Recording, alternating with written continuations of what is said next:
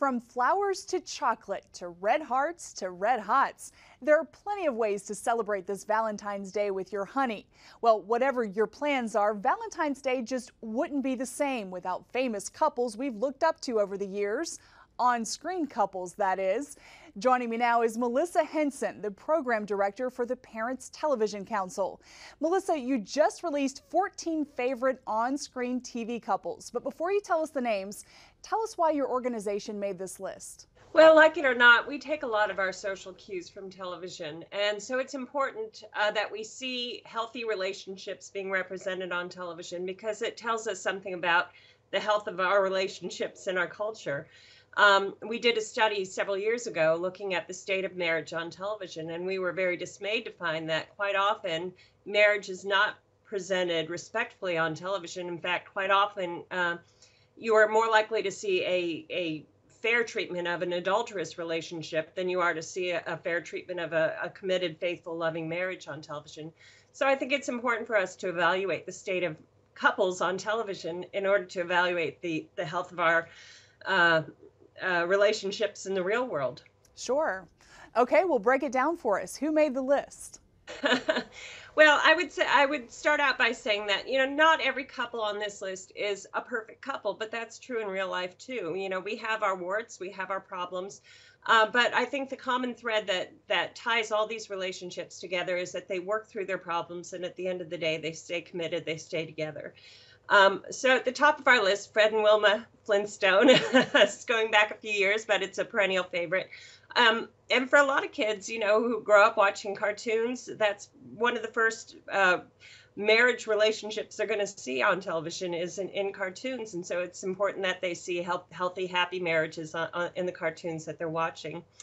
Uh, we also chose um, some great shows from the 90s that a lot of folks grew up with. Um, we have uh, Jim and Pam from The Office. We saw their relationship blossom over the years, and they became a very strong and hap- hap- happy couple in the end. Uh, we have um, Fran and Maxwell from The Nanny, and um, Jay and Michael from uh, My Wife and Kids.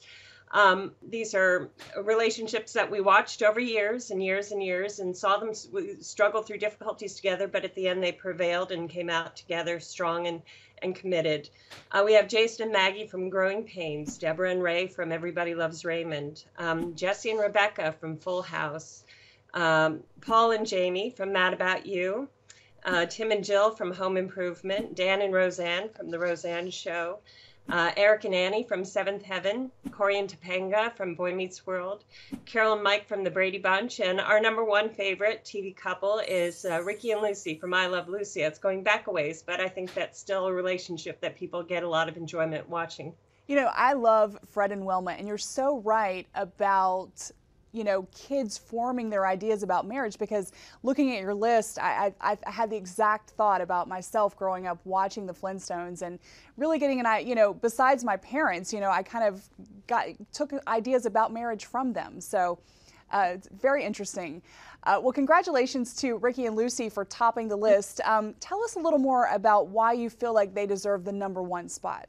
Well, uh, here again, you know, it's not that they always got along or that there, there was, a, you know, this uh, syrupy sweet relationship that's unrealistic. I think their relationship was very recognizable to people, very identifiable. Um, you know, sometimes they fought, sometimes they didn't like each other much, but at the end of the day, they they recognized that their strength is in their union, and they they figured out a way to work through their problems together, and they came out stronger in the end because of it. We're talking about the 1950s uh, for I Love Lucy. You know, I noticed there weren't too many recent couples on the list. What does this say about the direction of TV programming? Well, I think what we've seen in recent years is a trend away from shows that focus on the family, and they're more likely to be about friendships or work environments.